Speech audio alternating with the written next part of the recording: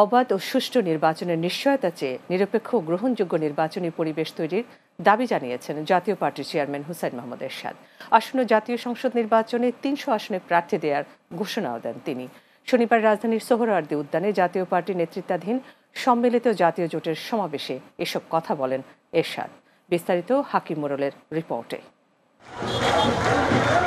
সকাল থেকেই দেশের বিভিন্ন প্রান্ত থেকে মহাসমাবেশে যোগ দেন জাতীয় পার্টির নেতাকর্মীরা। পোস্টার, ব্যানার, ফেস্টুন সহ মিছিল নিয়ে সমাবেশে যোগ দেন তারা। একাদশ জাতীয় সংসদ নির্বাচনকে সামনে রেখে নিজেদের সামর্থ্য জানান দিতে। সৌরভ দিতে এরশাদের নেতৃত্বাধীন সম্মিলিত জাতীয় জোটের এই মহাসমাবেশে জোটের শরিক দলগুলোর নেতাকর্মীদের উপস্থিতি তেমন চোখে পড়েনি। আগামীতে সরকার গঠনের দৃঢ় প্রত্যয় জানান Jatiya party senior co chairman Rowshan Ershad.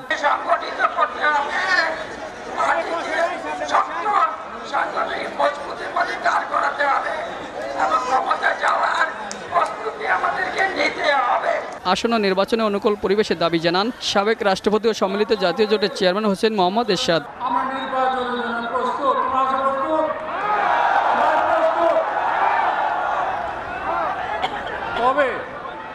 আমরা সুষ্ঠু নির্বাচন চাই। অবাধ সুষ্ঠু নির্বাচন আগামী নির্বাচন জীবনের শেষ নির্বাচনে এমন মন্তব্য করে আসন্ন নির্বাচনের প্রস্তুতির কথা তুলে ধরেন এরশাদ। জোটগতভাবে জাতীয় নির্বাচনের জন্য পুরোপুরি প্রস্তুত জানিয়ে এবার তিনশো আসনে প্রার্থী দেওয়ার প্রত্যয় ব্যক্ত করেন জাতীয় পার্টির চেয়ারম্যান।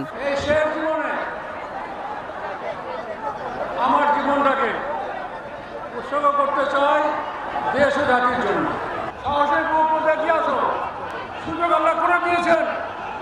সুযোগ কাজে লাগাতে হবে পরিবর্তন চায় মানুষ আমরা তিনশো নির্বাচন করতে চাই তার জন্য প্রস্তুতি গ্রহণ করতে হবে রাজি তো?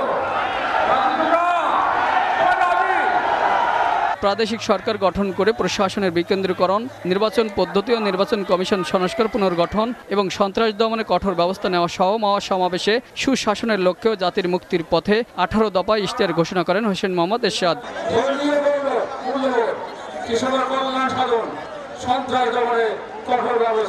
হাকিম মড়ল বাংলা টিভি ঢাকা।